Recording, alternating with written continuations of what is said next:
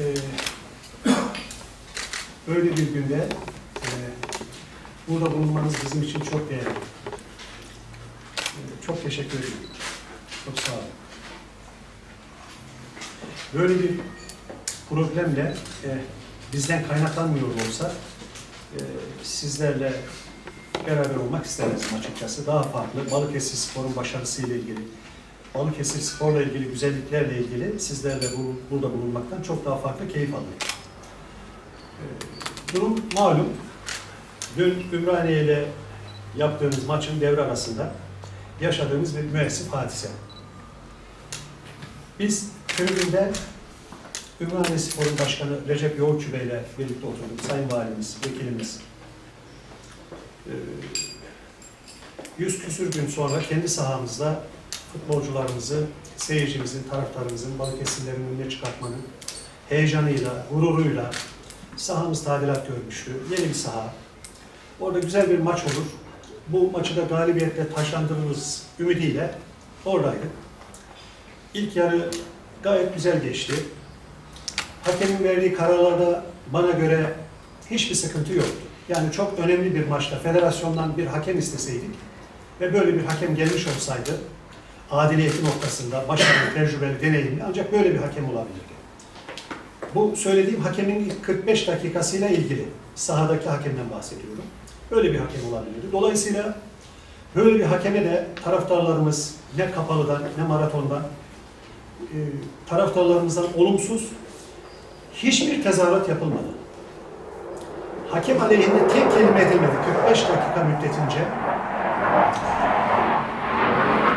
Devre arasında maç da gayet güzel ortadaydı. Muhtemelen oynansaydı ikinci yarıda biz bu maçı alacaktık. Görüntü oydu. Devre arasında ben e, Sayın Valimiz, vekillerimizi aşağıda protokol odasına aldım. Orada aşağıda bir tatsızlık oldu, gürültü patırtı oldu dediler. Aşağı indiğimde yönetici arkadaşlarımız bana konuyu anlattıklarında önce inanmadım. Şaka mı yapıyorlar? Etrafa baktım.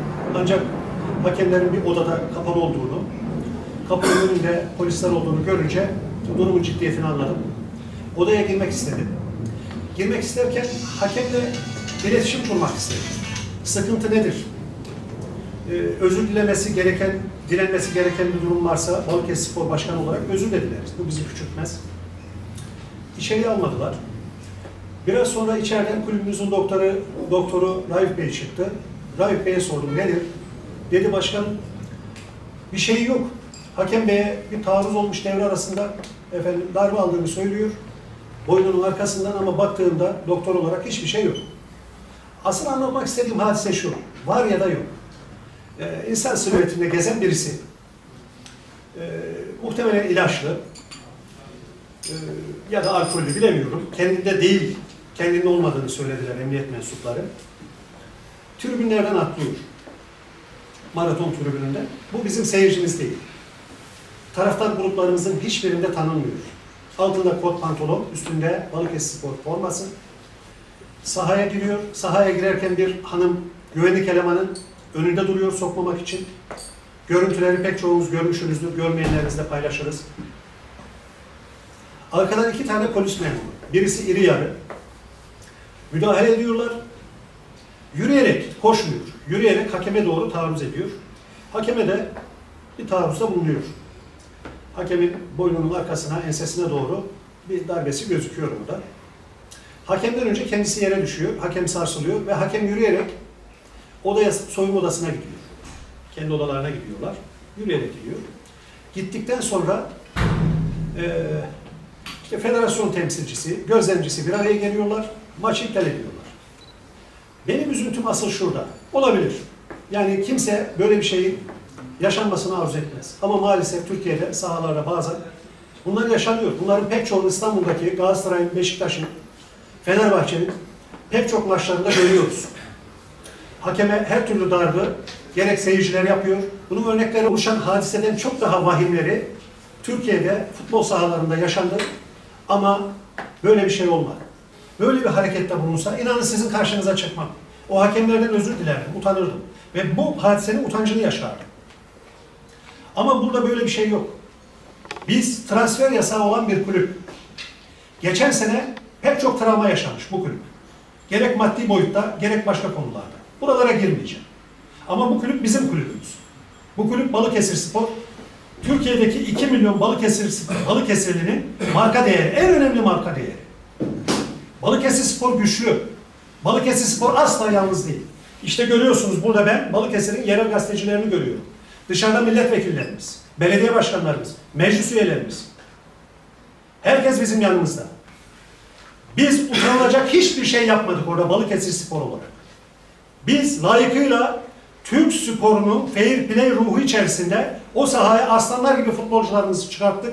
Bir devre boyunca hakem aleyhinde tek kelime laf edilmedi. Ümraniye Spor'un başkanıyla ben o maçı birlikte izledim. Yanımızda ilimizin valisi, vekilleri. Hiçbir aşırılık yok. Futbolcular arasında da bir sıkıntı yok. Yani seyirciyi tahrik edecek hiçbir şey yok. Ama seyirci sıfatında birisi sahaya iniyor, güvenlik tedbirleri sanıyorum yeteri kadar orada bir zafiyet olduğu gözüküyor. Bilemiyorum yani bu da bizi ne derece ilgilendirir. Ama açıkçası Balıkesir Spor'u, Balıkesir Spor olarak yöneticisinin de Balıkesir Spor'un taraftarlarının da burada hiçbir dahli yok. Bu işi yapan Balıkesir Spor taraftarı değil. Bir suç makinesi. Akşam emniyet yetkililerinden aldığım bilgi bana da gösterdiler. Sayın Emniyet Müdürümüz sabaha kadar uyumadığını söyledi. Sabahın erken saatlerinde benimle irtibata geçtik, görüştük. İfade tutanaklarını gösterdi. Taraftar olmadığını gördüm, bu beni çok sevindirdi. Çünkü Balıkesir Spor'un taraftarı bunu yapmaz. Gerçek bir Balıkesir Sporlu bunu asla yapmaz. Ve Balıkesir Spor'a bu Balıkesir Spor'un bu hadiseyle birlikte anılması da beni derinden yaraladı, çok üzdü, çok müteessir.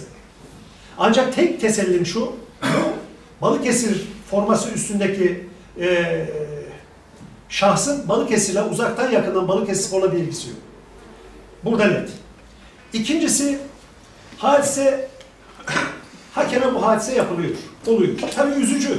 Bunu tasvip edilecek hiçbir yönü yok. Ancak hakem, gözlemcisi, federasyon yetkisi içeriye giriyorlar, maçı iptal ediyorlar. Ya iptal edilecek bir şey yok.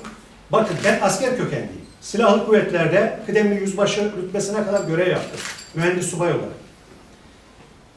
Türkiye'nin pek çok yerinde, özellikle Güneydoğu'da Türk insanının metanetini, Türk gencinin gücünü, cesaretini, kararlılığını, gözü kararlılığını orada bizzat yaşamış, müşahede etmiş bir insan.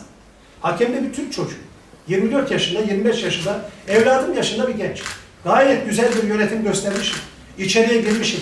Ne oldu da orada ağlıyorsun, zırıl zırıl ağlıyorsun. İçeride ağlıyor. Bunu duyunca bir kat daha üzüldüm. Ne oldu ki ağlayacak? Neydi senin derdin neydi? Seni ağlatan neydi? Ve orada fevran ediyor. Bunu ulusal basından bazı tanıdığımız dostlarımızla da paylaştım. İnanmak istemediler. Ama bana inanın ağladığını söylediklerinde üzüldüm. Herhalde verdiği kararın vicdani noktasında müteessir olduğunun için ağlıyordu. Bunun başka bir yorumu yok. Gayet güzel yönetmişsin. İstikbal vadeden bir hakemsin. Öyle söyleniliyor. Ben de çok beğendim yönetimini. Ama niçin ağlıyorsun? Ne oldu ki? Ağlayacak ne var? Bu da beni üzdü. Şimdi arkadaşlar sizlerle bir araya gelmemizin asıl sebeplerinden bir tanesi şu. Farklı algılar oluşsun istemedim. Bir, konunun Balıkesir Spor'la uzaktan yakından hiçbir ilgisi yok. İki, Balıkesir Spor'un Türkiye kamuoyu nezdinde böyle müessif bir hadiseyle anılmasından ben çok üzüntü duydum. Balıkesir Spor'da, Balıkesir kamuoyuyla, Balıkesirlilerle bunu asla hak etmiyor. Sonuna kadar bu doğrultuda gerek federasyon nezdinde, gerekse diğer bütün kurumlar nezdinde içeride görüştüm sayın vekillerimizle birlikte. Yarından itibaren hatta bugün başlattık. Bütün girişimleri yapacağız. Balıkesir Spor büyük bir kulüptür. 52 yıllık kocaman bir çınardır. Balıkesir Spor'un kaderiyle haksız olarak kimseyi oynatmam, kimsenin oynamaya cesaret edemez.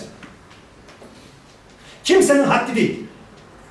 Sonuna kadar da bunun mücadelesini yapacağım. Balıkesir Spor'un çıkarları doğrultusunda. Ben Türk sporunu bir bütün olarak görüyorum. Türk sporunu federasyon nezdinde, Türk sporu, Türk futbolu hepimiz kocaman bir aileyiz. Bu bütünün biz de Balıkesir Spor olarak şerefli, onurlu bir parçasıyız. Hiç kimsenin hakkında, hiç kimsenin emeğinde, alın terinde bizim gözümüz yok. Ama hiç kimse, o hiç kimse bizim alın terimize, bizim emeğimize tecavüz ettirmem.